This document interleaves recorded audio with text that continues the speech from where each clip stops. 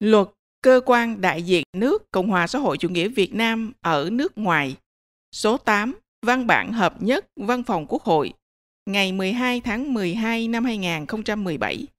Văn bản này được hợp nhất bởi Luật số 33 năm 2009 Quốc hội 12 ngày 18 tháng 6 năm 2009 và Luật số 19 năm 2017 Quốc hội 14 ngày 21 tháng 11 năm 2017 của Quốc hội sửa đổi bổ sung một số điều của luật cơ quan đại diện nước Cộng hòa xã hội chủ nghĩa Việt Nam ở nước ngoài.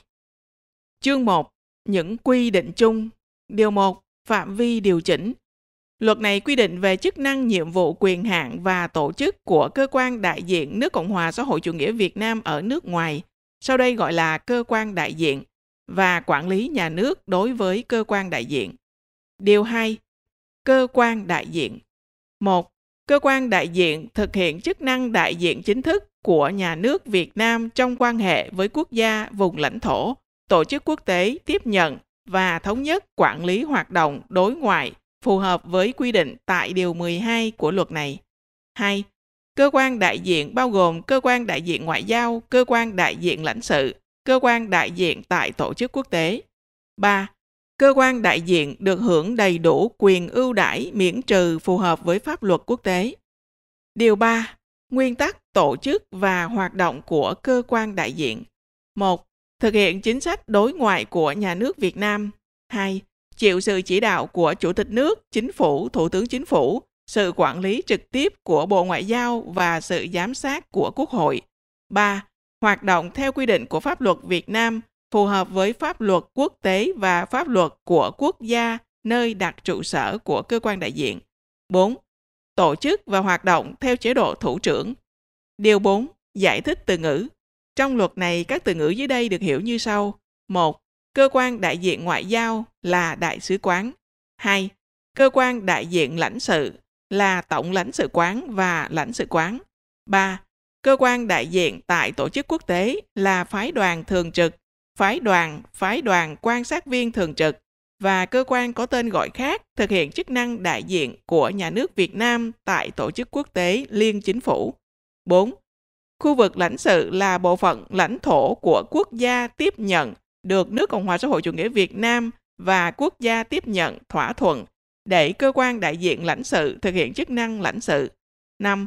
Thành viên cơ quan đại diện bao gồm người đứng đầu cơ quan đại diện, viên chức ngoại giao, viên chức lãnh sự và nhân viên cơ quan đại diện. 6. Viên chức ngoại giao là người đảm nhiệm chức vụ ngoại giao. 7. Viên chức lãnh sự là người đảm nhiệm chức vụ lãnh sự. 8. Lãnh sự danh dự là viên chức lãnh sự không chuyên nghiệp và không phải là cán bộ công chức viên chức Việt Nam, bao gồm tổng lãnh sự danh dự và lãnh sự danh dự. 9. Nhân viên cơ quan đại diện là người đảm nhận công việc hành chính, kỹ thuật hoặc phục vụ. Chương 2. Nhiệm vụ quyền hạn của cơ quan đại diện. Điều 5. Thúc đẩy quan hệ chính trị xã hội, quốc phòng an ninh. 1. Tổng hợp, đánh giá và cung cấp thông tin cho cơ quan có thẩm quyền về tình hình chính trị xã hội, quốc phòng an ninh của quốc gia, tổ chức quốc tế tiếp nhận. 2. Kiến nghị cơ quan có thẩm quyền về biện pháp cần thiết để thúc đẩy sự phát triển quan hệ chính trị xã hội, quốc phòng an ninh giữa nước Cộng hòa xã hội chủ nghĩa Việt Nam và quốc gia, tổ chức quốc tế tiếp nhận. 3. Thiết lập, duy trì và phát triển quan hệ giữa cơ quan đại diện với cơ quan tổ chức và cá nhân tại quốc gia, tổ chức quốc tế tiếp nhận, tạo điều kiện thuận lợi cho việc tổ chức thực hiện chính sách đối ngoại trong quan hệ với quốc gia, tổ chức quốc tế tiếp nhận. Điều 6. Phục vụ phát triển kinh tế đất nước. 1. Nghiên cứu chiến lược, chính sách, pháp luật, xu hướng phát triển kinh tế, thương mại, đầu tư, viện trợ phát triển, khoa học công nghệ, bảo vệ môi trường, giáo dục đào tạo, du lịch, hợp tác sử dụng nguồn nhân lực và các vấn đề liên quan khác của quốc gia, tổ chức quốc tế tiếp nhận. Báo cáo cơ quan có thẩm quyền về chủ trương, quyết sách có ý nghĩa chiến lược của quốc gia, tổ chức quốc tế tiếp nhận có tác động đến nền kinh tế Việt Nam. 2 cung cấp thông tin giới thiệu tình hình khả năng và nhu cầu hợp tác giữa doanh nghiệp Việt Nam và doanh nghiệp của quốc gia tiếp nhận. 3. Kiến nghị cơ quan có thẩm quyền về chính sách, biện pháp thích hợp và tổ chức thực hiện nhằm phát triển quan hệ kinh tế giữa nước Cộng hòa xã hội chủ nghĩa Việt Nam và quốc gia tổ chức quốc tế tiếp nhận. 4. Tham gia xúc tiến thúc đẩy hợp tác thương mại đầu tư, vận động tranh thủ viện trợ và quảng bá về du lịch Việt Nam tại quốc gia, tổ chức quốc tế tiếp nhận, thúc đẩy hợp tác khoa học công nghệ giữa nước Cộng hòa xã hội chủ nghĩa Việt Nam và quốc gia tiếp nhận, xúc tiến phát triển thị trường lao động ngoài nước, hỗ trợ xác minh thông tin liên quan đến hoạt động kinh tế và tư cách pháp nhân của doanh nghiệp tại quốc gia tiếp nhận khi có yêu cầu. Điều 7. Thúc đẩy quan hệ văn hóa. 1. Tổng hợp, đánh giá và cung cấp thông tin cho cơ quan có thẩm quyền về kinh nghiệm xây dựng và phát triển văn hóa của quốc gia, tổ chức quốc tế tiếp nhận. 2. Kiến nghị biện pháp thúc đẩy hợp tác văn hóa giữa nước Cộng hòa xã hội chủ nghĩa Việt Nam và quốc gia, tổ chức quốc tế tiếp nhận. 3. Tuyên truyền quảng bá về lịch sử, văn hóa, hình ảnh đất nước, con người Việt Nam tại quốc gia, tổ chức quốc tế tiếp nhận. 4. Giới thiệu cơ quan, tổ chức và nhân dân Việt Nam về lịch sử, văn hóa, hình ảnh đất nước, con người của quốc gia tiếp nhận và hoạt động liên quan đến văn hóa của tổ chức quốc tế tiếp nhận. 5. Hỗ trợ và tạo điều kiện thuận lợi cho việc trao đổi đoàn và hoạt động giao lưu văn hóa giữa nước Cộng hòa xã hội chủ nghĩa Việt Nam và quốc gia tổ chức quốc tế tiếp nhận. 6. Tổ chức hoặc tham gia tổ chức hoạt động, sự kiện văn hóa Việt Nam tại quốc gia tổ chức quốc tế tiếp nhận. Điều 8. Thực hiện nhiệm vụ lãnh sự. 1. Bảo hộ lãnh sự đối với lợi ích của nhà nước, quyền và lợi ích hợp pháp của công dân, pháp nhân Việt Nam và thực hiện các nhiệm vụ lãnh sự được quy định tại điều này trên cơ sở tuân thủ pháp luật Việt Nam pháp luật của quốc gia tiếp nhận và điều ước quốc tế mà Cộng hòa xã hội chủ nghĩa Việt Nam và quốc gia tiếp nhận là thành viên, phù hợp với pháp luật và thông lệ quốc tế. 2. Thực hiện việc thăm lãnh sự và liên hệ, tiếp xúc với công dân Việt Nam trong trường hợp họ bị bắt, tạm giữ, tạm giam, xét xử hoặc đang chấp hành hình phạt tù tại quốc gia tiếp nhận. 3. Trong trường hợp công dân pháp nhân Việt Nam không thể bảo vệ quyền và lợi ích hợp pháp của mình theo pháp luật và thực tiễn của quốc gia tiếp nhận cơ quan đại diện có thể tạm thời đại diện hoặc thu xếp người đại diện cho họ tại tòa án hoặc cơ quan có thẩm quyền của quốc gia tiếp nhận cho đến khi có người khác làm đại diện cho họ hoặc họ tự bảo vệ được quyền và lợi ích của mình. 4. Cấp gia hạn sửa đổi bổ sung hủy bỏ hộ chiếu, giấy thông hành và giấy tờ khác có giá trị xuất cảnh nhập cảnh Việt Nam phù hợp với quy định của pháp luật. 5. Cấp bổ sung hủy bỏ thị thực, cấp thu hồi hủy bỏ giấy miễn thị thực của Việt Nam phù hợp với quy định của pháp luật. 6. Thực hiện nhiệm vụ liên quan đến hộ tịch, con nuôi phù hợp với quy định của pháp luật Việt Nam và không trái với pháp luật của quốc gia tiếp nhận hoặc điều ước quốc tế mà Cộng hòa xã hội chủ nghĩa Việt Nam và quốc gia tiếp nhận là thành viên. 7 thực hiện nhiệm vụ công chứng chứng thực phù hợp với quy định của pháp luật Việt Nam và điều ước quốc tế mà Cộng hòa xã hội chủ nghĩa Việt Nam và quốc gia tiếp nhận là thành viên. Tiếp nhận, bảo quản giấy tờ, tài liệu và đồ vật có giá trị của công dân pháp nhân Việt Nam khi có yêu cầu phù hợp với quy định của pháp luật Việt Nam và không trái với pháp luật của quốc gia tiếp nhận. 8. Hợp pháp hóa lãnh sự, giấy tờ, tài liệu của nước ngoài và chứng nhận lãnh sự giấy tờ tài liệu của Việt Nam phù hợp với quy định của pháp luật.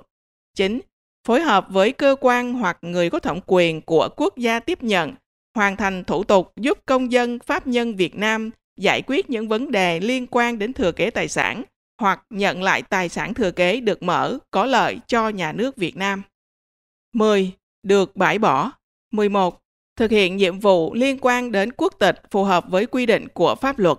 12 thực hiện việc đăng ký công dân đối với người có quốc tịch Việt Nam cư trú tại quốc gia tiếp nhận, phù hợp với quy định của pháp luật Việt Nam, pháp luật và thông lệ quốc tế. 13. Thực hiện ủy thác tư pháp phù hợp với quy định của pháp luật Việt Nam và điều ước quốc tế mà Cộng hòa xã hội chủ nghĩa Việt Nam là thành viên. 14. Giúp đỡ tàu biển Việt Nam, tàu bay mang quốc tịch Việt Nam và phương tiện giao thông vận tải khác đăng ký tại Việt Nam để bảo đảm tàu biển, tàu bay và phương tiện giao thông vận tải đó được hưởng đầy đủ quyền và lợi ích tại quốc gia tiếp nhận theo quy định của pháp luật của quốc gia tiếp nhận, phù hợp với điều ước quốc tế mà Cộng hòa xã hội chủ nghĩa Việt Nam và quốc gia tiếp nhận là thành viên phù hợp với pháp luật và thông lệ quốc tế. 15. Phối hợp thực hiện nhiệm vụ liên quan đến phòng dịch, kiểm dịch động vật, thực vật phù hợp với quy định của pháp luật Việt Nam, pháp luật của quốc gia tiếp nhận, điều ước quốc tế mà Cộng hòa xã hội chủ nghĩa Việt Nam và quốc gia tiếp nhận là thành viên, phù hợp với pháp luật và thông lệ quốc tế. 16. Thực hiện nhiệm vụ lãnh sự khác theo quy định của pháp luật Việt Nam và không trái với pháp luật của quốc gia tiếp nhận hoặc điều ước quốc tế mà Cộng hòa xã hội chủ nghĩa Việt Nam và quốc gia tiếp nhận là thành viên. Điều 9. Hỗ trợ và bảo vệ cộng đồng người Việt Nam ở nước ngoài. 1. Tuyên truyền, giới thiệu chính sách và pháp luật Việt Nam liên quan đến người Việt Nam ở nước ngoài. 2. Tổng hợp báo cáo cơ quan có thẩm quyền về tình hình cộng đồng và công tác vận động, hỗ trợ cộng đồng người Việt Nam ở nước ngoài. 3. Kiến nghị cơ quan có thẩm quyền về chính sách, biện pháp thích hợp nhằm duy trì sự gắn bó của cộng đồng người Việt Nam ở nước ngoài với quê hương đất nước, khuyến khích người Việt Nam ở nước ngoài giữ gìn bản sắc dân tộc, tham gia hoạt động trên các lĩnh vực đời sống xã hội của đất nước. 4. Tạo điều kiện và hỗ trợ cho người Việt Nam ở nước ngoài ổn định cuộc sống, hội nhập với xã hội tại quốc gia tiếp nhận, kiến nghị biện pháp cần thiết để bảo vệ quyền và lợi ích hợp pháp của người Việt Nam – ngăn ngừa hành động phân biệt đối xử với cộng đồng người Việt Nam ở quốc gia tiếp nhận. 5. Tổ chức hoặc phối hợp tổ chức hoạt động văn hóa phục vụ cộng đồng người Việt Nam ở nước ngoài. 6. Kiến nghị với cơ quan có thẩm quyền hình thức khen thưởng thích hợp đối với tổ chức cá nhân người Việt Nam ở nước ngoài có thành tích xuất sắc trong hoạt động xây dựng cộng đồng và đóng góp xây dựng đất nước. Điều 10. Thống nhất quản lý hoạt động đối ngoại. 1 chỉ đạo hướng dẫn theo thẩm quyền việc thực hiện thống nhất chính sách đối ngoại đối với đại diện của cơ quan, tổ chức Việt Nam tại quốc gia, tổ chức quốc tế tiếp nhận và đoàn được cơ quan, tổ chức Việt Nam cử đi công tác tại quốc gia, tổ chức quốc tế tiếp nhận. 1A. Thống nhất quản lý hoạt động thông tin đối ngoại và chủ trì phối hợp với cơ quan có liên quan đề xuất triển khai hoạt động thông tin đối ngoại tại quốc gia, tổ chức quốc tế tiếp nhận. 2. Chủ trì, phối hợp tổ chức và trực tiếp tham gia hoạt động đối ngoại của nước Cộng hòa xã hội chủ nghĩa Việt Nam được tổ chức tại quốc gia, tổ chức quốc tế tiếp nhận. 3. Thực hiện biện pháp thích hợp và báo cáo ngay cho cơ quan có thẩm quyền về hoạt động của đại diện cơ quan, tổ chức hoặc của đoàn Việt Nam được cử đi công tác tại quốc gia, tổ chức quốc tế tiếp nhận, không phù hợp với chính sách đối ngoại, làm ảnh hưởng đến quan hệ giữa nước Cộng hòa xã hội chủ nghĩa Việt Nam và quốc gia, tổ chức quốc tế tiếp nhận. 4.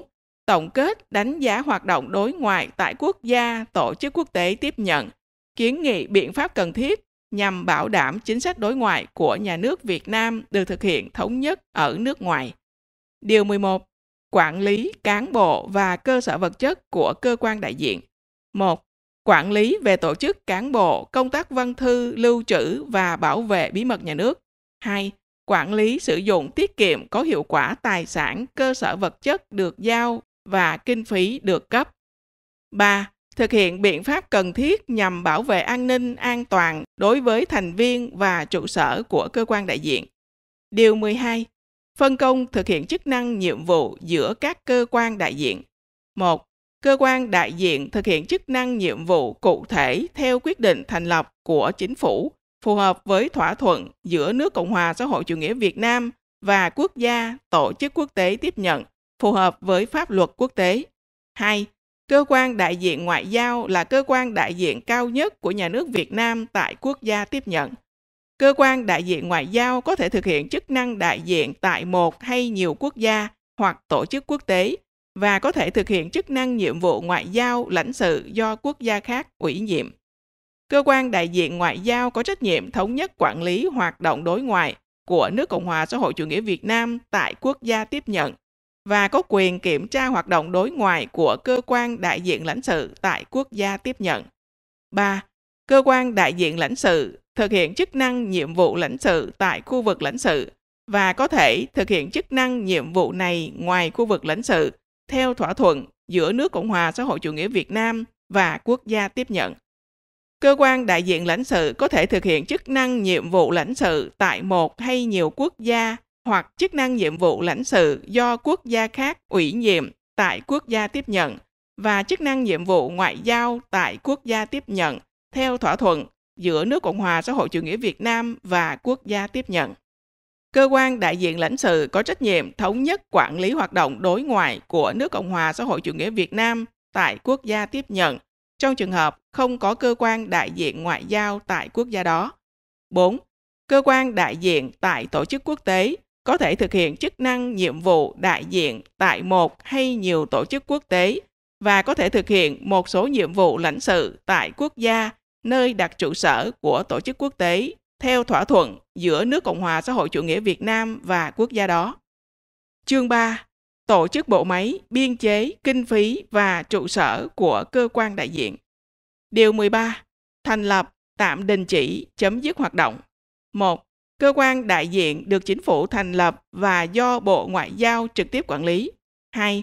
Căn cứ yêu cầu hoạt động và quan hệ đối ngoại trên cơ sở thỏa thuận với quốc gia, tổ chức quốc tế tiếp nhận và sau khi trao đổi ý kiến với các cơ quan hữu quan, Bộ Ngoại giao trình chính phủ quyết định việc thành lập, tạm đình chỉ hoặc chấm dứt hoạt động của cơ quan đại diện. 3. Sau khi chính phủ quyết định, Bộ Ngoại giao chủ trì phối hợp với các cơ quan hữu quan tổ chức thực hiện và hoàn thành thủ tục đối ngoại cần thiết. Điều 14. Tổ chức bộ máy và biên chế. 1. Bộ Ngoại giao có trách nhiệm chủ trì phối hợp với Bộ Nội vụ và các cơ quan hữu quan xây dựng đề án về tổ chức bộ máy và chỉ tiêu biên chế của cơ quan đại diện. Bộ trưởng Bộ Ngoại giao trình Thủ tướng Chính phủ phê duyệt đề án. 2. Biên chế của cơ quan đại diện bao gồm cán bộ công chức viên chức của Bộ Ngoại giao và căn cứ vào yêu cầu công tác có cán bộ công chức viên chức của một số cơ quan hữu quan làm việc theo chế độ biệt phái phù hợp với quy định của pháp luật, sau đây gọi là cán bộ biệt phái. 3.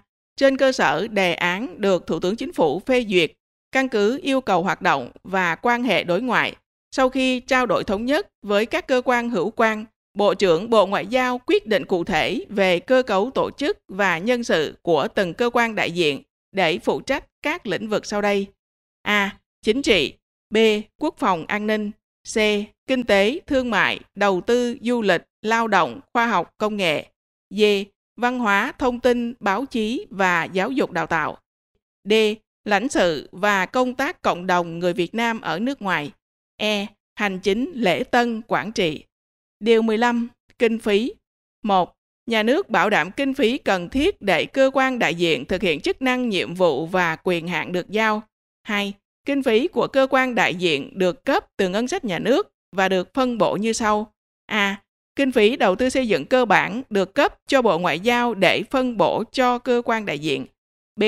Kinh phí hoạt động thường xuyên được cấp cho Bộ Ngoại giao để phân bổ cho cơ quan đại diện, trừ kinh phí dành cho lĩnh vực quốc phòng, an ninh và thương mại theo quy định của chính phủ. C.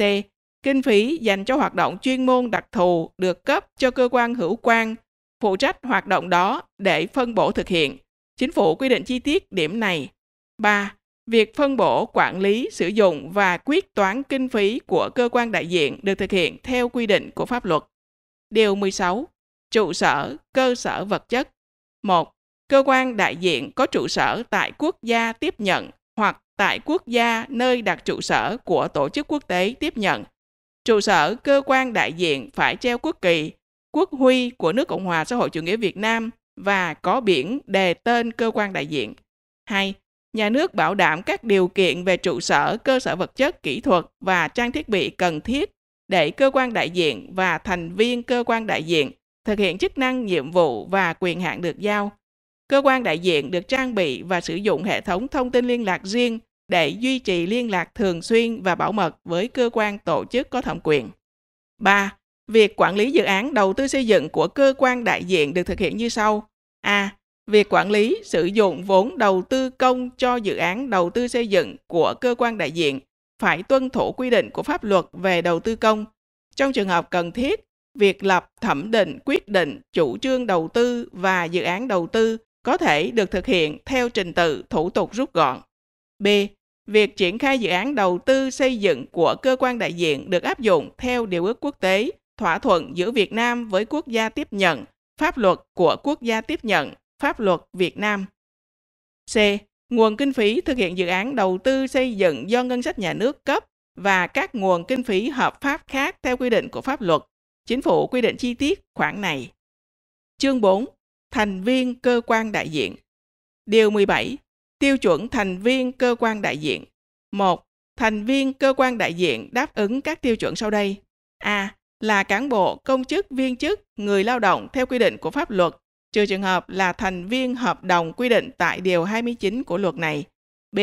Có đủ tiêu chuẩn, trình độ chính trị, chuyên môn, nghiệp vụ, ngoại ngữ và kinh nghiệm phù hợp với yêu cầu công tác theo quy định của Bộ trưởng Bộ Ngoại giao trên cơ sở đề án tổng thể được Thủ tướng Chính phủ phê duyệt. 2. Đại sứ đặc mệnh toàn quyền đáp ứng tiêu chuẩn quy định tại khoản 1 điều này và các tiêu chuẩn sau đây. A. Tuyệt đối trung thành với Tổ quốc và Hiến pháp nước Cộng hòa xã hội chủ nghĩa Việt Nam, có phẩm chất đạo đức tốt, bản lĩnh chính trị vững vàng, bảo vệ lợi ích quốc gia dân tộc. B. Có trình độ đại học trở lên, có trình độ lý luận chính trị cử nhân hoặc cao cấp, đã được đào tạo bồi dưỡng về kiến thức chuyên môn nghiệp vụ đối ngoại, sử dụng thông thạo ít nhất một ngoại ngữ phù hợp với yêu cầu công tác. C.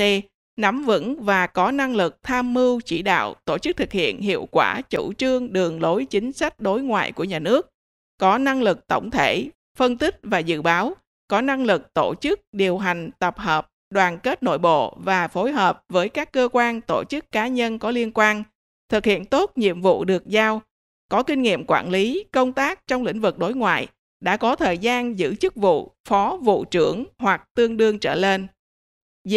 Có đủ sức khỏe để hoàn thành nhiệm vụ được giao trong độ tuổi đủ để hoàn thành ít nhất một nhiệm kỳ công tác, trừ trường hợp đặc biệt, căn cứ yêu cầu đối ngoại, địa bàn công tác, năng lực, uy tín cá nhân do chính phủ quy định. Điều 18. Chức vụ ngoại giao, chức vụ lãnh sự. 1. Chức vụ ngoại giao bao gồm A. Đại sứ đặc mệnh toàn quyền B. Đại sứ C. Công sứ D. Tham tán công sứ D. Tham tán E. Bí thư thứ nhất G. Bí thư thứ hai H. Bí thư thứ ba Y. Tùy viên 2. Chức vụ lãnh sự bao gồm A. Tổng lãnh sự B. Phó tổng lãnh sự C. Lãnh sự D. Phó lãnh sự D.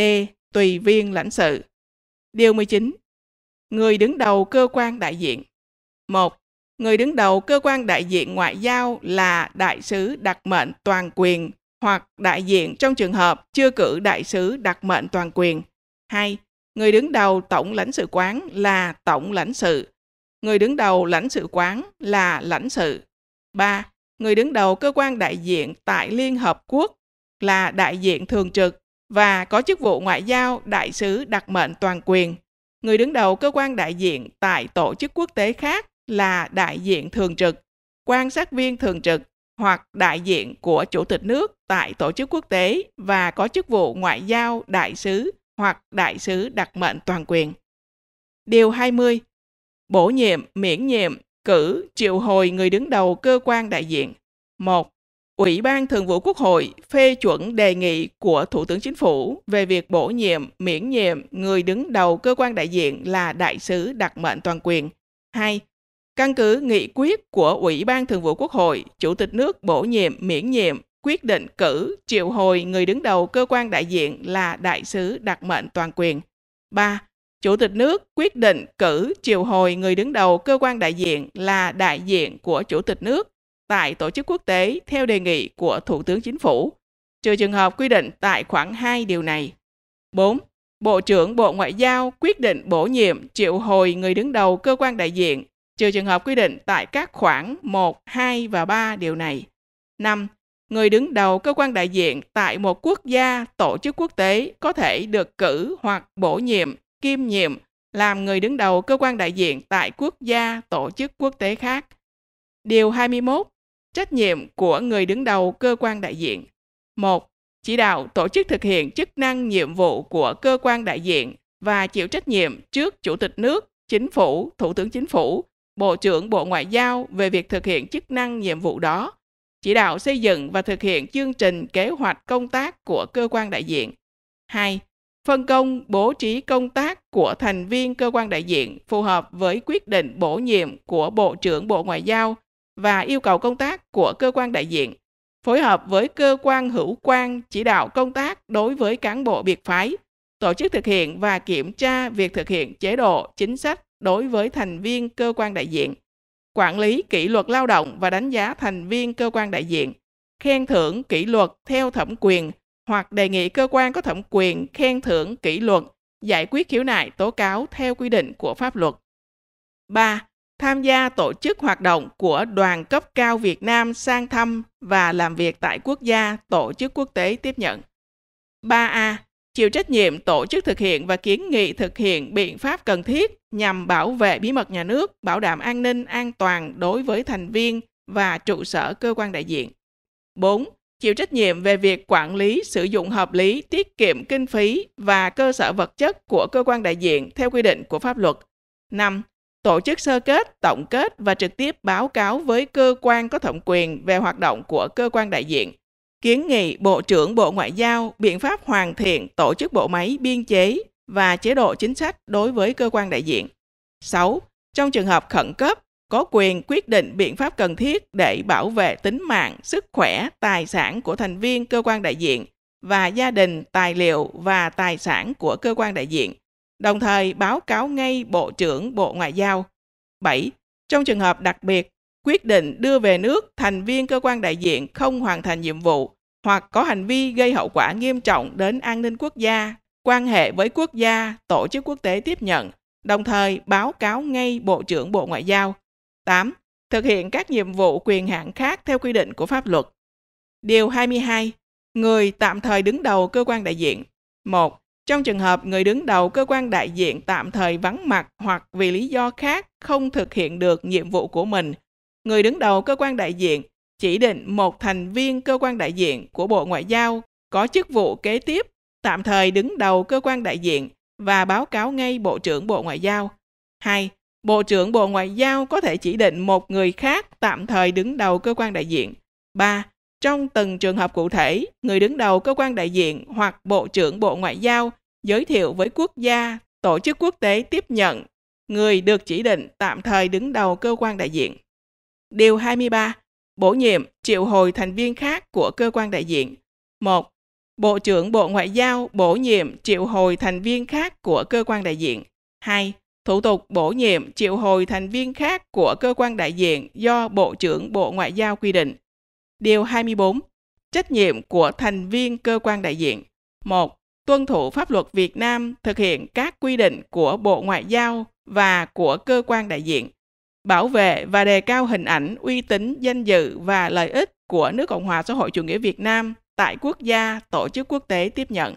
2 tôn trọng pháp luật và phong tục tập quán của quốc gia tiếp nhận, tích cực góp phần tăng cường quan hệ hữu nghị hợp tác giữa nước Cộng hòa xã hội chủ nghĩa Việt Nam và quốc gia tổ chức quốc tế tiếp nhận.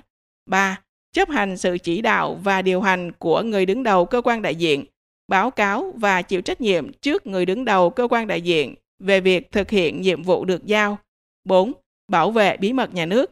5 không được lạm dụng quyền ưu đãi miễn trừ vì lợi ích cá nhân làm ảnh hưởng đến danh dự uy tín của nước Cộng hòa xã hội chủ nghĩa Việt Nam và cơ quan đại diện. Trong thời gian công tác tại cơ quan đại diện, không được tiến hành hoạt động nghề nghiệp nhằm mục đích thu lợi riêng. Điều 25. Trách nhiệm của thành viên gia đình. 1. Thực hiện quy định tại các khoản 1, 2 và 4 điều 24 của luật này. 2 không được lạm dụng quyền ưu đãi miễn trừ vì lợi ích cá nhân, làm ảnh hưởng đến danh dự uy tín của nước Cộng hòa xã hội chủ nghĩa Việt Nam và cơ quan đại diện. Điều 26. Chế độ dành cho thành viên cơ quan đại diện, vợ hoặc chồng và con chưa thành niên đi theo thành viên cơ quan đại diện. 1. Thành viên cơ quan đại diện, vợ hoặc chồng được cử đi công tác nhiệm kỳ cùng với thành viên cơ quan đại diện trong thời gian công tác tại cơ quan đại diện được hưởng A. Chế độ lương, phụ cấp, trợ cấp, chế độ nhà ở, chế độ bảo hiểm xã hội, bảo hiểm y tế và chế độ nghỉ hàng năm theo quy định của pháp luật. B. Trợ cấp trong trường hợp bị thương hoặc chết. C. Trợ cấp và chế độ ưu đãi trong trường hợp công tác tại khu vực đang xảy ra xung đột vũ trang, thảm họa do thiên tai, dịch bệnh hoặc trong điều kiện công tác đặc biệt khó khăn. D. Bảo đảm chi phí đi lại trong trường hợp cha mẹ hoặc cha mẹ của vợ, chồng hoặc vợ, chồng, con của thành viên cơ quan đại diện chết. 2. Nữ thành viên cơ quan đại diện hoặc vợ của thành viên cơ quan đại diện được cử đi công tác nhiệm kỳ cùng với thành viên cơ quan đại diện khi sinh con được hưởng chế độ thai sản theo quy định của pháp luật. Thời gian nghỉ sinh con của nữ thành viên cơ quan đại diện được tính vào nhiệm kỳ công tác. 3. Con chưa thành niên đi theo thành viên cơ quan đại diện được hỗ trợ một phần học phí tại quốc gia tiếp nhận và chi phí mua bảo hiểm khám bệnh chữa bệnh. 4. Chính phủ quy định chi tiết điều này. Điều 27. Nhiệm kỳ công tác 1. Nhiệm kỳ công tác của thành viên cơ quan đại diện là 36 tháng và có thể được kéo dài trong trường hợp cần thiết theo quy định tại khoản 7 điều 32 của luật này. 2. Trong thời hạn 3 tháng kể từ khi kết thúc nhiệm kỳ công tác về nước, thành viên cơ quan đại diện, vợ hoặc chồng được cử đi công tác nhiệm kỳ cùng với thành viên cơ quan đại diện là cán bộ công chức viên chức chưa đến tuổi nghỉ hưu được tiếp nhận và bố trí làm việc trở lại tại cơ quan tổ chức trước khi đi công tác nhiệm kỳ. Điều 28. Lãnh sự danh dự. 1. Trong trường hợp có yêu cầu về công tác lãnh sự nhưng chưa có điều kiện thành lập cơ quan đại diện lãnh sự hoặc bổ nhiệm viên chức lãnh sự, thì Bộ trưởng Bộ Ngoại giao có thể bổ nhiệm lãnh sự danh dự. 2. Thủ tục bổ nhiệm chấm dứt hoạt động, chức năng, nhiệm vụ và quyền hạn của lãnh sự danh dự được thực hiện theo quy định của pháp luật. Điều 29. Nhân viên hợp đồng. 1 cơ quan đại diện có thể tuyển dụng người cư trú tại quốc gia nơi cơ quan đại diện có trụ sở làm nhân viên hợp đồng. 2. Quyền và nghĩa vụ của nhân viên hợp đồng được quy định tại hợp đồng tuyển dụng. Chương 5. Chỉ đạo, quản lý, giám sát và phối hợp công tác đối với cơ quan đại diện. Điều 30. Chỉ đạo và quản lý cơ quan đại diện. 1. Chính phủ thống nhất quản lý nhà nước về cơ quan đại diện. 2. Chủ tịch nước, chính phủ, thủ tướng chính phủ chỉ đạo hoạt động của cơ quan đại diện. 3. Bộ Ngoại giao chịu trách nhiệm trước chính phủ thực hiện quản lý nhà nước về cơ quan đại diện, trực tiếp quản lý, chỉ đạo và điều hành về tổ chức và hoạt động của cơ quan đại diện. Điều 31. Giám sát cơ quan đại diện. Quốc hội, các cơ quan của Quốc hội và đại biểu Quốc hội thực hiện quyền giám sát đối với hoạt động của cơ quan đại diện theo quy định của pháp luật. Điều 32. Trách nhiệm của Bộ trưởng Bộ Ngoại giao 1. Ban hành theo thẩm quyền hoặc trình cơ quan có thẩm quyền ban hành văn bản quy phạm pháp luật về cơ quan đại diện. 2. Chủ trì nghiên cứu, đề xuất, trình chính phủ, chủ trương, đàm phán, ký kết, gia nhập và thực hiện điều ước quốc tế về cơ quan đại diện. 3. Trình Thủ tướng Chính phủ phê duyệt đề án về tổ chức bộ máy và chỉ tiêu biên chế của cơ quan đại diện. 4 thống nhất chỉ đạo kiểm tra, thanh tra việc thực hiện đường lối chính sách đối ngoại và việc thực hiện chức năng nhiệm vụ của cơ quan đại diện và thành viên cơ quan đại diện theo quy định của pháp luật. 5. Tổ chức thực hiện quy định của pháp luật về cơ quan đại diện. 6. Kiến nghị Thủ tướng Chính phủ trình Ủy ban Thường vụ Quốc hội phê chuẩn đề nghị bổ nhiệm miễn nhiệm đại sứ đặc mệnh toàn quyền. Kiến nghị Thủ tướng Chính phủ trình Chủ tịch nước cử và triệu hồi đại diện của Chủ tịch nước tại tổ chức quốc tế quyết định kéo dài nhiệm kỳ của đại sứ đặc mệnh toàn quyền trong thời gian không quá 3 tháng, kiến nghị Thủ tướng Chính phủ quyết định kéo dài nhiệm kỳ của đại sứ đặc mệnh toàn quyền trên 3 tháng trong trường hợp cần thiết do yêu cầu đối ngoại và báo cáo Ủy ban Thường vụ Quốc hội, Chủ tịch nước. 7. Bổ nhiệm, kéo dài nhiệm kỳ, triệu hồi thành viên của cơ quan đại diện, trừ trường hợp được quy định tại khoản 6 điều này. Bổ nhiệm, chấm dứt hoạt động đối với lãnh sự danh dự. 8 tổ chức và chỉ đạo việc phối hợp hoạt động giữa cơ quan đại diện với cơ quan tổ chức có liên quan ở trong nước và nước ngoài. 9. Chỉ đạo việc quản lý sử dụng cơ sở vật chất, kỹ thuật và kinh phí của cơ quan đại diện. 10. Khen thưởng, kỷ luật và giải quyết khiếu nại tố cáo theo quy định của pháp luật. Điều 33. Phối hợp công tác giữa cơ quan tổ chức Việt Nam và cơ quan đại diện. 1. Cơ quan tổ chức Việt Nam có trách nhiệm A. Cung cấp thông tin cần thiết phục vụ cho hoạt động đối ngoại của cơ quan đại diện. B. Thông báo kịp thời cho cơ quan đại diện dự kiến chương trình kế hoạch hoạt động đối ngoại tại quốc gia, tổ chức quốc tế tiếp nhận. C. Phối hợp với cơ quan đại diện tổ chức thực hiện hoạt động đối ngoại của cơ quan tổ chức Việt Nam tại quốc gia, tổ chức quốc tế tiếp nhận. D. Phối hợp với cơ quan đại diện, chỉ đạo hoạt động đối ngoại của đại diện cơ quan tổ chức Việt Nam tại quốc gia, tổ chức quốc tế tiếp nhận. 2. Trong trường hợp cơ quan đại diện cần xử lý công việc thuộc lĩnh vực quản lý chuyên ngành, nếu ý kiến của cơ quan đại diện khác với ý kiến của cơ quan tổ chức hữu quan, thì người đứng đầu cơ quan đại diện có quyền quyết định, đồng thời báo cáo ngay với Bộ Ngoại giao và thông báo cho cơ quan tổ chức hữu quan. Điều 34. Phối hợp công tác giữa đoàn được cử đi công tác nước ngoài và cơ quan đại diện. 1. Đoàn được cử đi công tác nước ngoài thông báo kịp thời cho cơ quan đại diện về nội dung chương trình hoạt động tại quốc gia, tổ chức quốc tế tiếp nhận để phối hợp công tác và thông báo kết quả hoạt động cho cơ quan đại diện hoặc Bộ Ngoại giao sau khi kết thúc đợt công tác. 2. Cơ quan đại diện tổng hợp và định kỳ hàng năm báo cáo cơ quan có thẩm quyền về hoạt động của các đoàn quy định tại khoản 1 điều này. Điều 35. Phối hợp công tác giữa cơ quan có cán bộ biệt phái và cơ quan đại diện. 1. Cơ quan có cán bộ biệt phái phối hợp với cơ quan đại diện trong việc xây dựng chương trình kế hoạch công tác của cơ quan đại diện đối với lĩnh vực chuyên môn do cơ quan phụ trách và hướng dẫn chuyên môn nghiệp vụ cho cán bộ biệt phái thông qua người đứng đầu cơ quan đại diện, trừ trường hợp đặc biệt. 2. Cơ quan đại diện phối hợp với cơ quan có cán bộ biệt phái, chỉ đạo quản lý công tác của cán bộ biệt phái và đánh giá về việc hoàn thành nhiệm vụ chuyên môn nghiệp vụ của cán bộ biệt phái. Chương 6. Điều khoản thi hành. Điều 36. Hiệu lực thi hành. 1. Luật này có hiệu lực thi hành từ ngày 2 tháng 9 năm 2009. 2. Pháp lệnh lãnh sự ngày 13 tháng 11 năm 1990 và pháp lệnh về cơ quan đại diện nước Cộng hòa xã hội chủ nghĩa Việt Nam ở nước ngoài ngày 15 tháng 12 năm 1993 hết hiệu lực kể từ ngày luật này có hiệu lực. Xác thực văn bản hợp nhất, chủ nhiệm Nguyễn Hạnh Phúc